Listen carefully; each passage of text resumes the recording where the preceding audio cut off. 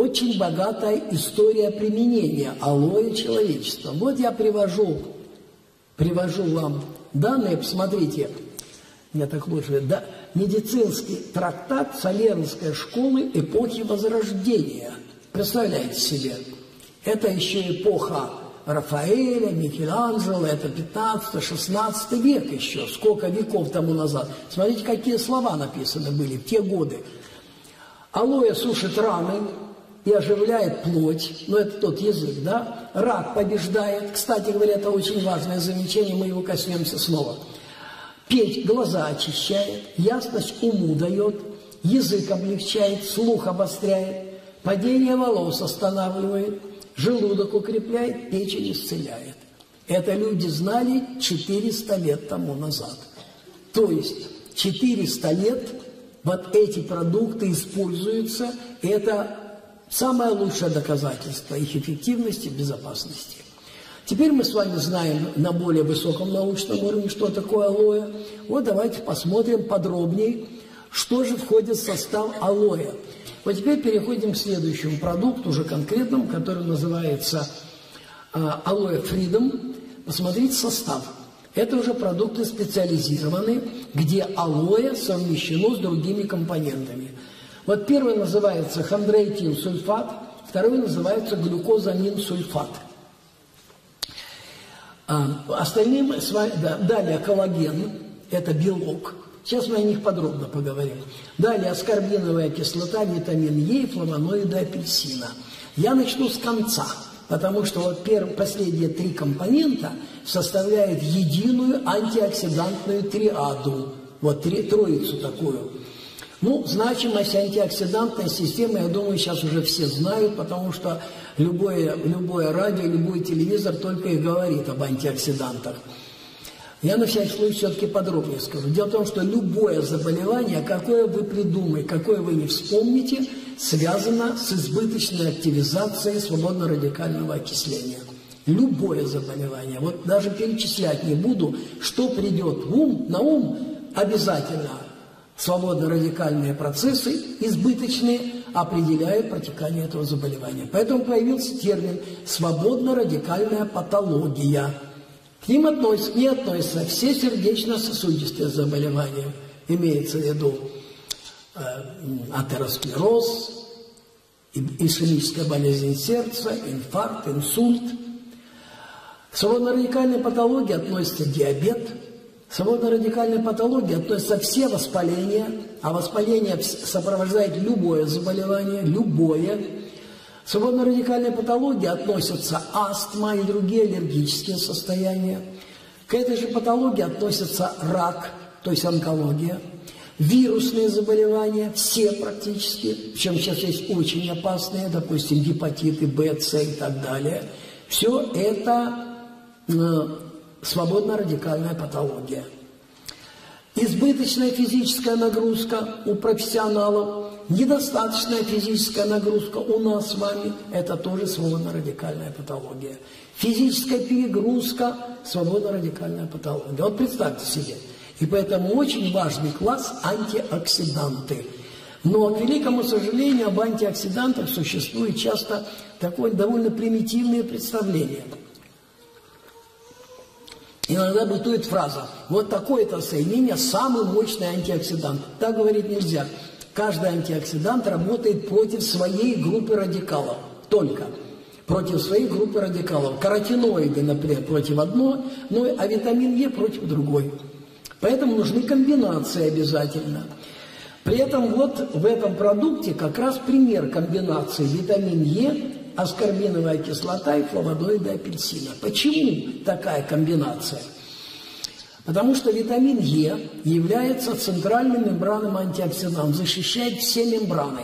Хотя первое, первое десятилетие после открытия его, ему и дали такое название токоферол, несущий рождение. Считали, что он защищает только половые клетки – от перекисного окисления, от повреждения, и поэтому назвали его несущее рождение, токоферол. Да, действительно, в половых клетках его наибольшее количество, потому что там действительно требуется высокоэффективная защита омега-3 жирных кислот, входящих в состав мембраны этих клеток. Но потом было доказано, что витамин Е является универсальным антиоксидантом, защищает абсолютно все системы организма. И сердечную мышцу, и мозговую ткань, все абсолютно от перекисного окисления. Он гасит свободные радикалы, но вопрос, а во что он сам превращается? А оказывается, он сам превращается в другой свободный радикал. И вот этот свободный радикал, кстати говоря, токсичен. Что делать? А нужно этот свободный радикал вернуть снова в исходное состояние. Вот такую функцию возвращения выполняет аскорбиновая кислота. Поэтому витамин С, Е должен всегда использоваться в комбинации с витамином С. Обязательно. И в природе эти вещества всегда идут вместе, кстати говоря. Теперь витамин С или ее, ее, его представитель аскорбиновая кислота. У всех мнение, аскорбиновая кислота – это антиоксидант. А вот далеко не всегда. У нас вот в психоневрологическом институте в Петербурге решили лечить больных аутизмом аскорбинкой. Добавить там 300 миллиграмм. У них резко ухудшилось состояние. Почему?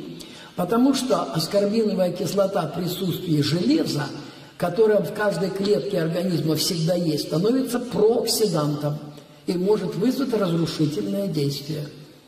Поэтому витамин С нужно обязательно применять с биофлавоноидами. И в природе витамин С всегда с биофлавоноидами. Возьмите шиповник, возьмите черную смородину, чернопло, черно, черноплодную рябину. Везде витамин С вместе с флавоноидами. Вот окрашенные вещества, вот эти вот, ну, крас, черного винограда, например, красный цвет смородины. Это все флавоноиды. Вот здесь используется комбинация, посмотрите, а, витамин Е, аскорбиновая кислота, флавоноиды апельсина. Апельсин добавлен не только для вкуса, а и как компонент антиоксидантной системы. И поэтому в данном случае вот этот продукт является эффективным антиоксидантом, вот кроме всего остального действия, о котором мы сейчас с вами будем говорить. Позиционируется он в основном как хондропротектор – Посмотрите действия. Хондроитин, сульфат и глюкозамил сульфат – это состояние хрящей, это поверхность сустава, это состояние сухожилий, кожи и внутрисуставной жидкости. Почему это особенно важно для нас, людей? Мы прямоходящие существа, и поэтому тело давит на, два, на две точки, на коленные суставы прежде всего. И они механически просто истираются – Внутри суставной жидкости имеется внутрисуставная жидкость, в основе которой лежит гиалуроновая кислота, а основой гиалуроновой кислоты является глюкозамин сульфат. Вот это тот, который вот там приведен, структурным кирпичиком. Вот почему здесь сказано, что эти компоненты нужны для поддержания состояния хрящей, которые просто истираются и возникают артрозы. Очень многие страдают с возрастом. А любой артроз всегда сопровождается воспалением, которое называется артритом. Это касается не только нижней конечности, это может касаться и э, тазовых костей и так далее, но очень часто это нижние конечности, особенно у лиц с избыточной массой тела. Сейчас, секундочку. Избыточная масса тела может быть и жировая, но может быть и мышечная. Сейчас очень много лиц, занимающихся силовыми видами спорта, качки так называемые, у которых нижние конечности истираются. Ну, я уже не говорю об альпинистах, я это дома вижу.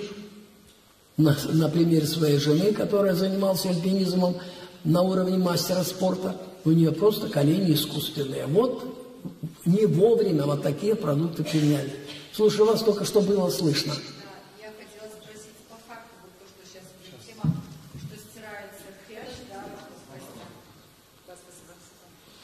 Это то, что стирается хрящ, ее можно по факту восстановить нашими продуктами? Конечно, можно восстановить. Другое дело, можно затормозить истирание. Вот используя вот этот продукт, регулярно. Если уже на истирание произошло, то регенерация – это длительный процесс. А вот остановить дальнейшее стирание абсолютно точно можно. Вот таким а вот то, что уже деформация кисти э, пальцев рук, рук и ног, на коленях, а, отеки, вот такие боли. Нет, ну это подождите, это же могут быть разные заболевания. Вы так говорите, руки, ноги, это могут быть артрит, не только артрит, а ревматизм, ревматоидный артрит. Ревматоидный артрит, это э, врачи постановили такой диагноз и требуется лечение. Артрит – это воспаление прежде всего. Да. Значит, вот эти ходропротекторы, они прежде всего восстанавливают просто механический сустав, а вместе с алоэ они, они профилактируют воспалительную реакцию. Так что можно совершенно спокойно использовать. И чем раньше, тем лучше. Единственное, что можно сказать. Спасибо. Хотя хирурги сабла, а, говорят, мы запросто поставим искусство сустав и все. В лучшем случае он работает 3-5 лет. Потом его менять надо, между прочим. Об этом они умалчивают. 3-5 лет, в отличие от натурального сустава. А представьте, когда человеку 60-70 лет, ну-ка попробуй потом перенести очередные операции, что это значит? Поэтому очень важно вот такие профилактические продукты. Это характерно, очень важно не только для спортсменов, это характерно для лиц, живущих в условиях гор. Всегда нагрузка, большая нагрузка. Вот вверх-вниз, вверх-вниз, хотя это очень полезно, но нагрузка-то большая. Вот нужно учитывать, что вот этот продукт особенно буквально имеет региональное значение. Смотрим дальше. Подробнее по этим продуктам. Вот клинические исследования по хондроитинсульфату показали, что применение хондроитинсульфата в течение от 1 до 3 месяцев уменьшает отечность, вот тут спрашивали насчет отека, отечность, болезненность суставов, не только нижних конечностей, просто нижние конечности наиболее уязвимы. Рентгенологические данные существенно улучшаются, то есть объективные, то есть это уже клиническое доказательство на людях – до эффективности вот этих хондропротекторов, вот хондроитин сульфата.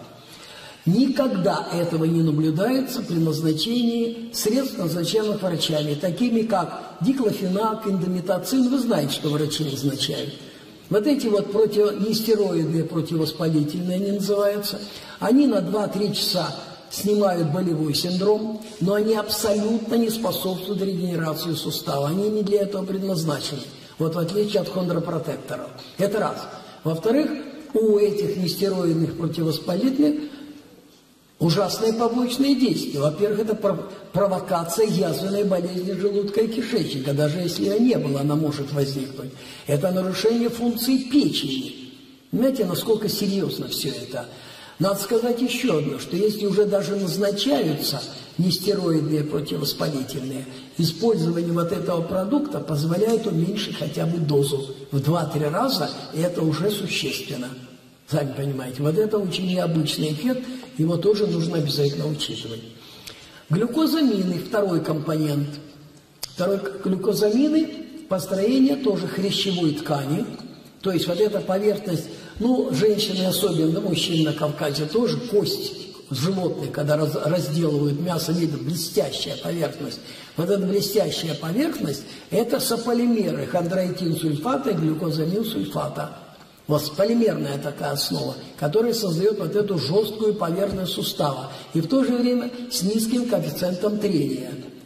Но для этого нужно, чтобы обязательно в продукцию входили минералы, например, марганец. Мы к этому вопросу позже немножко еще раз вернемся. Так вот, глюкозамин входит в составы хрящевой ткани вместе с кондроитилсульфатом, но он входит в состав и внутрисуставной жидкости, которая смачивает суставы как смазка. И при уменьшении содержания в питании глюкозамина – в суставе появляется крепитация. Ну, все знают, что с возрастом утром встали, подтягиваете, все хрустит, трещит на всю комнату. Разве у ребенка такое когда-нибудь бывает? Никогда у детей не бывает, у маленьких детей, чтобы трещало все. А у нас уже вот треск жуткий раздается, это дефицит, дефицит вот этой внутрисуставной жидкости, прежде всего сульфата. Причем обязательно при потреблении этих продуктов достаточное количество чистой воды. 2-2,5 литра воды. Очень многие делают эту ошибку, не пьют дополнительную воду. Считают, что воды, чая там или там супа и так далее достаточно. Нет, обязательно, это важное обстоятельство, 2-2,5 литра понемножку чистой воды. Кроме того, значит, вот помимо влияния на суставы и на суставную жидкость, глюкозамин через гиалуроновую кислоту образует пленки которые отделяют один орган от другого. Вот если задуматься, вот как же орган находится в определенном положении в организме. Потому что есть пленки механические, которые их удерживают, знаете, как гамаки. Вот эти вот гамаки построены как раз вот на основе гиалуроновой кислоты, в основе которой лежит глюкозамин. А это препятствие миграции раковых клеток, то есть препятствие распространению раковых клеток а следственно развитию раковых болезней, тоже немаловажное обстоятельство. Ну, женщины, наверное, знают, что гиалуроновая кислота сейчас очень модный продукт в косметике, и считается, что она улучшает кожу. Это действительно так, потому что гиалуроновая кислота по своей структуре удерживает очень много воды.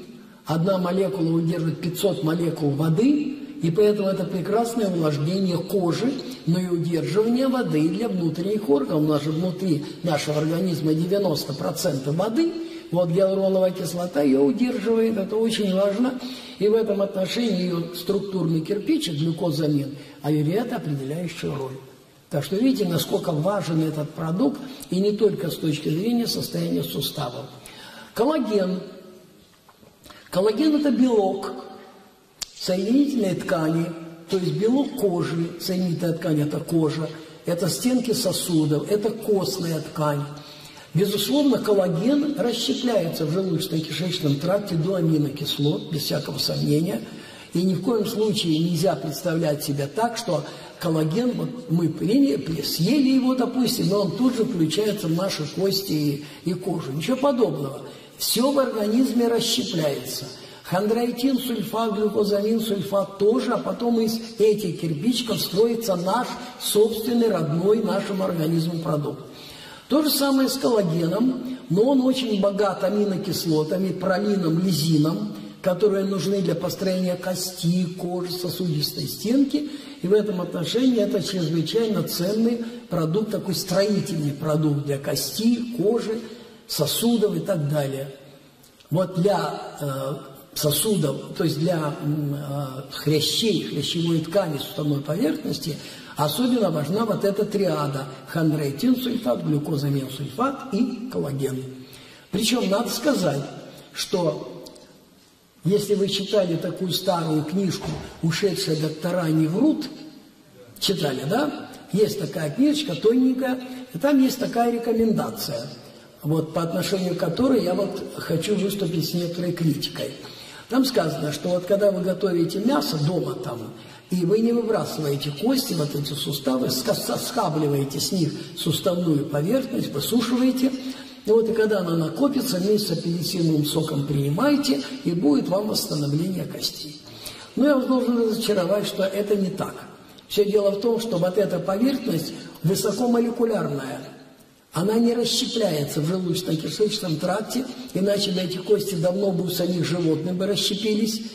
А вот эти хондроитин-сульфат, глюкозамин-сульфат, которые представляет собой в этом продукте, их специально подвергают ферментативной обработке для того, чтобы фрагменты были средней длины.